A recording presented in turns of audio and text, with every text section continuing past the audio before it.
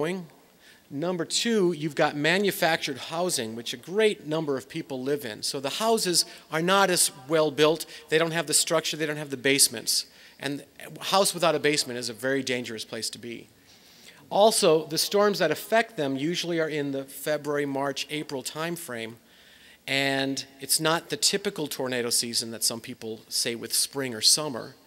Also, they tend to hit at night when most people are supposedly safe in their beds. So the threat is very significant and it's growing down there. And we're trying to get people aware that you need to be aware of thunderstorms in your area in this time of the year, especially at night. They can pose a very, very significant risk. Next. So here's the EF0, EF1. About 70% of all tornadoes are in this weak category. And there are over a thousand tornadoes annually in the United States. Most of them are weak. A well built house is going to offer adequate protection. A car, a mobile home will not be adequate. So if you know anybody who's in those type of houses, when there's a threat for severe weather, they need to be thinking about where they're going to go for shelter. Next. Strong tornadoes make up about 28%, or about 280 tornadoes a year. And even a well built house is going to lose most of its walls. I'm going to show you a video of a town in Arkansas called Earle that was hit by an F3 tornado, and a lot of buildings, completely except for an interior room. Next, please. And then the violent tornadoes, only about 2%, but these things are going to completely level a well built home, even if it's made out of brick. So the only safe place in there would be in a basement. If you're not with a good basement, you need to seek shelter elsewhere.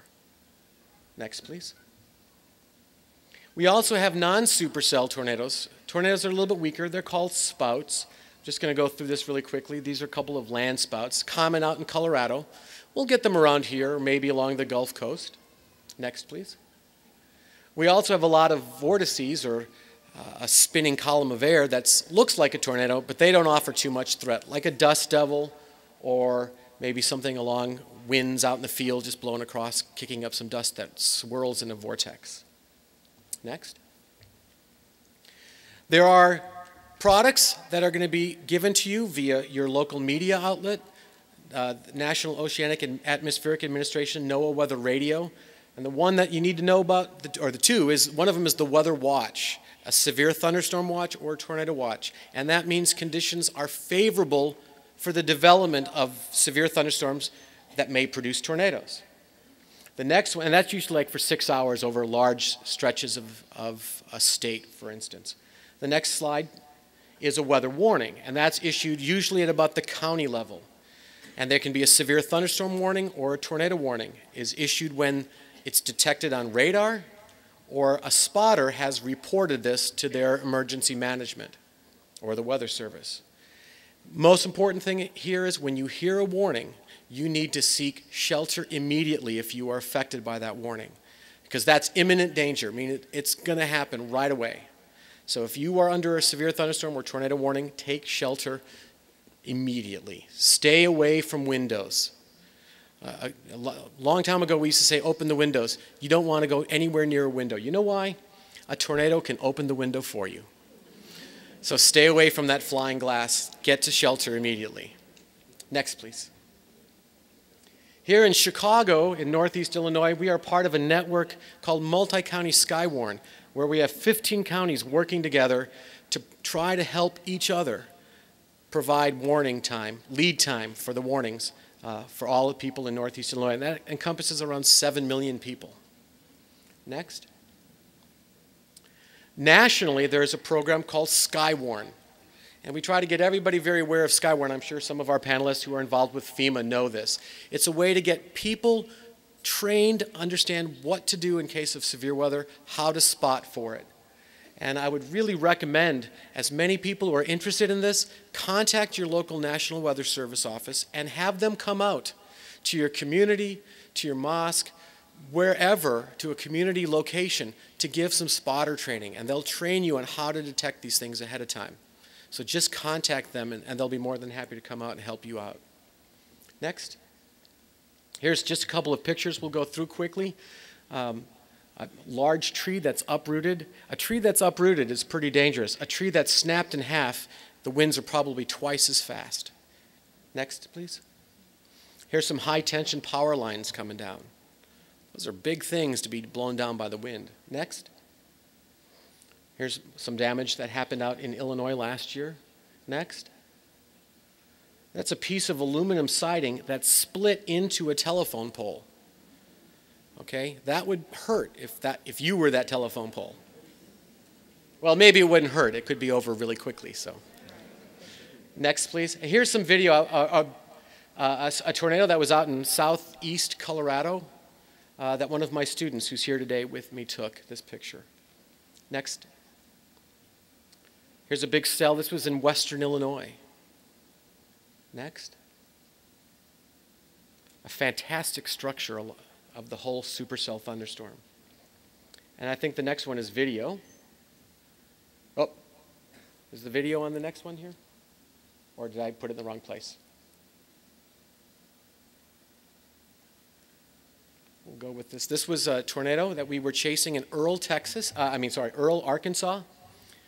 Uh, we were chasing it. It was moving at about 40 miles an hour, which is extremely fast.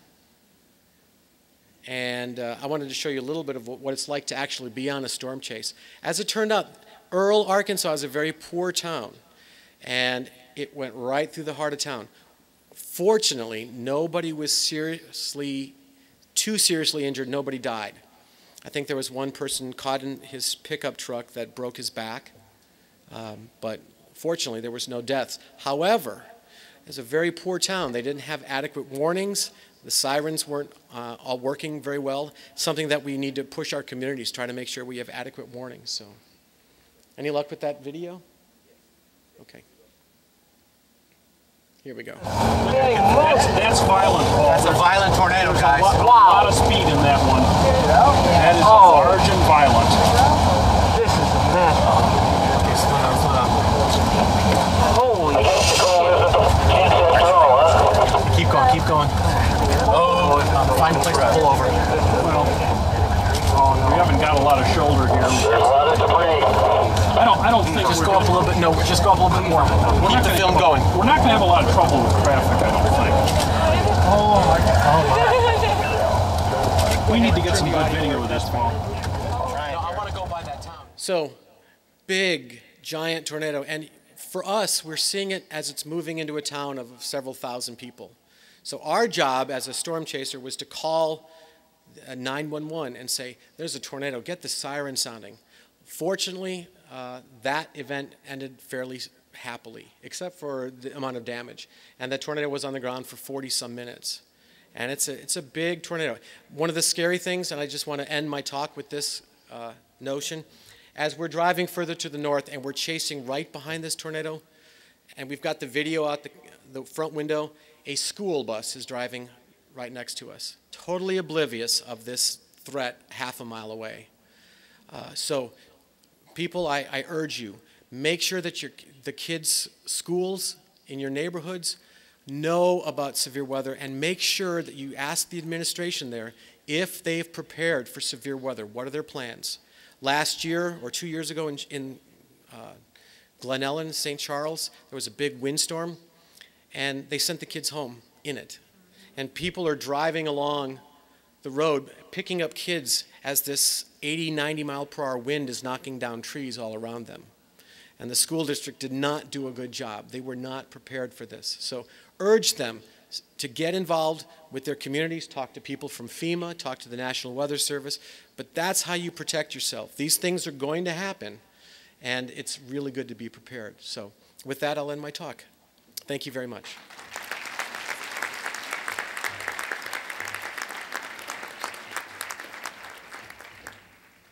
Can we give Dr. Paul another round of applause, please?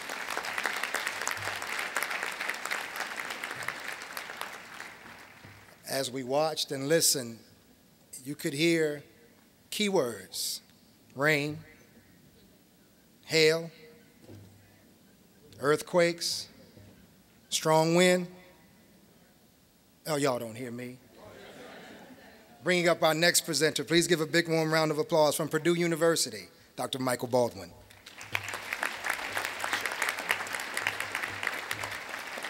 Thank you all.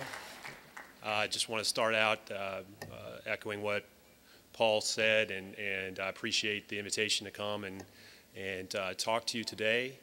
Um, I'm interested in both presenting some of uh, the extreme weather events that have happened recently, but also here to, to listen.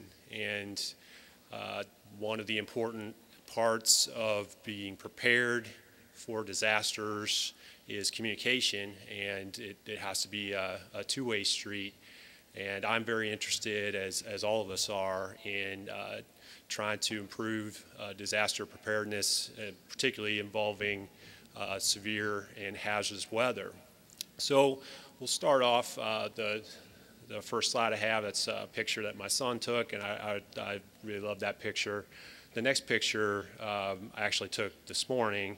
Uh, we had a little bit of snow down in uh, uh, Indiana last night, and it looks like you, you, didn't get any up this way, but um, it sounded like the forecast is for another inch or two of snow uh, this weekend, and that that will set the record for Chicago for uh, February uh, snow, mainly due to the one big storm that was at, in the beginning of the month. Uh, so we'll go to the next slide. I just kind of wanted to start and, and connect the, uh, the talk that I have to a bit of my history, um, sort of uh, introduction and, and also uh, to let you know that the definition of extreme weather kind of depends on where you live and, and what type of weather is normal for that area. Um, and I've, I've, been interested in, in weather since I was a kid. Uh, we'll go to the next slide. The, um, there was a big tornado outbreak, uh, the biggest one that, that we're aware of in, uh, across the, the South and the Midwest, uh, April 3rd and 4th, 1974. Uh, click the, the next uh, slide, we should see a map that shows the paths of all the tornadoes. This is uh, Professor Ted Fujita's famous map from the, the outbreak from, that, from those days.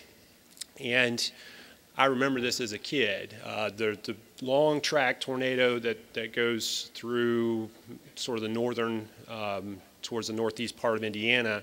Uh, I, I lived just a little bit south of there. That, that's a tornado that devastated uh, Monticello, Indiana. Um, and so I have some faint memory of this as a kid, and, and it definitely inspired me to study these, uh, these types of phenomena. If you uh, click the next image, um, I had a student go back and, and, study this case. We have some satellite imagery from, from that time that was, that was archived, and here we can see the locations of the storms. This is late in the afternoon on the, on the 3rd of April, and there were uh, quite a line of, of uh, thunderstorms going through the Midwest, and a large bank of clouds back uh, over the, the northern plains where there was a lot of snow. It, um, the next slide actually had my student run a uh, numerical weather prediction model for this event so that we could try to see if the current uh, prediction models could simulate this event. And it turned out to do a, a pretty good job. And, and the, what you see here is a simulation of the radar, which indicates the strength of the precipitation and the winds as well. And the sort of yellow and red colors, which might be hard to see, uh, represent the very strong thunderstorms that are being predicted or simulated by this uh, model. And so the way these models work, we try to combine all the different uh, physical processes that affect the movement of the air, uh, the, the amount of moisture that's in the air, the temperature of the air, the pressure, and turn those into uh, mathematical equations and get large computers to crunch through those. Um, and we're able to generate now forecasts, simulations that look pretty realistic. And so the group that I work with at Purdue is starting to use this approach to study historical events and try to see if there's been any changes to in the characteristics of precipitating weather events uh, in the past 30 years or so, and also to look at the future and, and to run these models inside of a climate prediction model to try to see if uh, there'll be any changes in the future climate. The next slide is related to this and shows a, a diagnostic parameter that we use to look for the rotation in the storms. Uh, and so the red areas indicate storms that do have rotation and it would be uh, potential supercells. And so we use this event to sort of uh, calibrate and, and to demonstrate that we can do this. And we have students at Purdue that are now generating decades worth of data that we're going to analyze. We're still preliminary in this work, uh, again, to try to see how things might be changing or might change uh, with uh, climate change. Uh, so the next slide, um, another event from my past, and this is, uh, uh, there were two blizzards that happened 1977 and 78 on this almost exact same date, January 25th. Um, the next picture actually shows uh, pictures of me and uh, as a much younger uh, man. Um, the, the, the snow that we got in Indiana uh, added up to about a foot and a half, and this uh, this is known as the blizzard of 1978. There's actually a couple famous blizzards from that year, one for the East Coast and one for the Midwest. Um, and so we, we do see these extreme weather events happening in, in, uh, in the past, in the current, uh, uh, around the world and in the United States. Let's go to the next slide.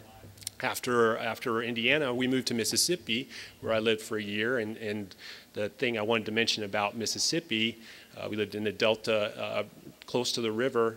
Uh, if you click on the next picture, if one flake of snow falls in Mississippi, they, they close school. So uh, uh, that is extreme weather if you live in Mississippi. And so it, it part of the, uh, again, the definition of extreme, it depends on where you're, where you're from. And the next slide, um, I moved on to, to Michigan after living in Mississippi. And I remember the drought in 1988, which uh, was uh, very, uh, very long heat wave in the summer uh, in, in the Detroit area uh, where, where I lived, and, uh, but had a, a, widespread effect across the Midwestern United States. And drought is, I, I think, a more um, I don't know, subtle extreme weather event, unlike tornadoes, which will uh, sort of come out of nowhere, surprise you, and, and, and hit you. A drought takes a long time to develop, but the results are just as devastating. Uh, the, the, monetary damage for this three-year drought uh, it, in the 1988 dollars is estimated close to 40 billion dollars, um, and it you, have to take into account the effect on agriculture, on water supply, uh, on the uh, power generation, uh, all, all sorts of things uh, uh, are affected by this kind of event, as well as heat-related deaths, which, which obviously are, are devastating. So the next slide, I think from Michigan, I went uh, to Oklahoma, and I would hold Oklahoma up as maybe the extreme weather capital of the United States, but I'm sure we could have a debate about that. Just a, a recent example, they had uh, some cities had a 100 degree change in temperature uh, over six days. So there was a snowstorm early part of, of this month. After the snow fell, the temperatures dropped to their all-time record lows. So they set an extreme minimum temperature for the state. Uh, the example I give is a little bit warmer, minus 28, and then six days later it was 72 degrees. So uh, it, it, doesn't take long in Oklahoma for the weather to change. Um, uh, also famous for their, their severe thunderstorms. The next slide uh, from Oklahoma, I moved out to Washington, D.C. And uh, just in, again, last year we had back-to-back -back major snowstorms that affected the mid-Atlantic. Uh, we seem to come up with these great nicknames for the storms these days, uh, snowpocalypse and snowmageddon. Um, but they were very uh, disruptive events with uh, 30 plus inches of snow across that region that affect millions and millions of people. Uh, and anytime we get a big storm in the east, uh, there's, there's going to have a very large impact on the population. And uh, from Washington, it's, I think the next slide sort of goes on to more of the recent extremes and less of my history. So the big event that we had in, in Chicago uh, earlier this month, where officially 20 inches of snow, I think, uh, was observed at O'Hare. Uh, you can see the map here shows the, the widespread area of, of very heavy snow. Uh, a lot of it uh, came from the lake effect that occurred after the, the main system moved off, and there was a lot of uh, strong winds with this as well. I probably don't have to tell a lot of you this because you lived through it. Um, but this was a very extreme event, and as I mentioned, will probably help to set the record for February for snow. Uh, the next slide. If we look at the pattern that we've had for this past year, um, we've been in what's called a La Nina pattern. And the, the, La Nina is basically the opposite of El Nino, and these are uh, different patterns of sea surface temperatures over the tropical Pacific. And the, the colder pattern is called La Nina, where the temperatures are actually colder. And the typical effects on the, on the jet stream and the storm track are, are shown in this plot, where we, we see a lot of the flow coming from Alaska, a lot of cold air coming down into the central U.S., but a typical average La Nina is actually relatively warm for the Midwest. So there was a bit more going on uh, this year, and the Arctic Oscillation is the, the next thing, which uh, the next picture will show. Uh, the polar region gets very cold in the winter, obviously, and what results is a very strong vortex that has uh, strong winds that, that wrap around the pole, and typically that will keep a lot of the cold air uh, sort of trapped over the pole. This year, we've had the opposite. We've had relatively warm air uh, over the pole and a weak polar vortex, and that allows a lot of the cold air to kind of break off and move south. And you can kind of see on the right there, the storm track heads more uh, towards the east coast, towards the Midwest, and we get colder and, and snowier uh, type of, of, pattern. And so that's what we've seen this year.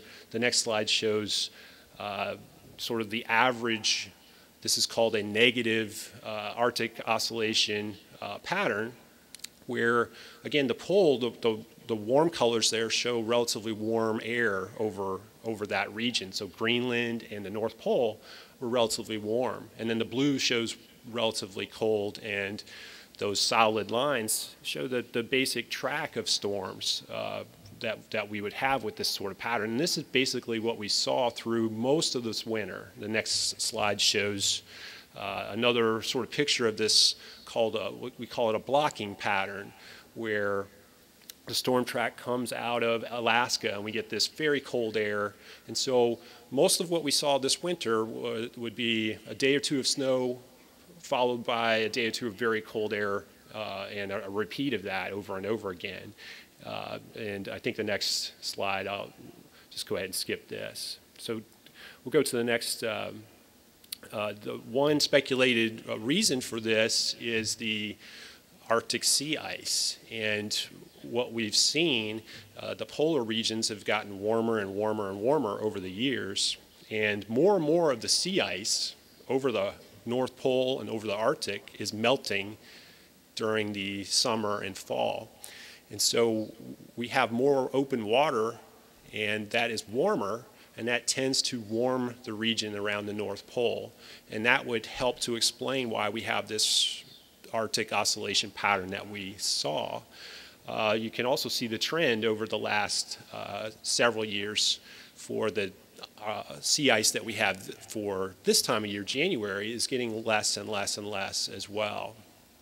Uh, the next slide, I believe, shows that uh, at the very peak of the melting of the ice, we actually had the uh, Northwest Passage opened uh, for the first time, and so you could you could sail a boat um, uh, across the Arctic Ocean and and go from uh, uh, Greenland to Russia uh, the the short way, which hasn't happened before.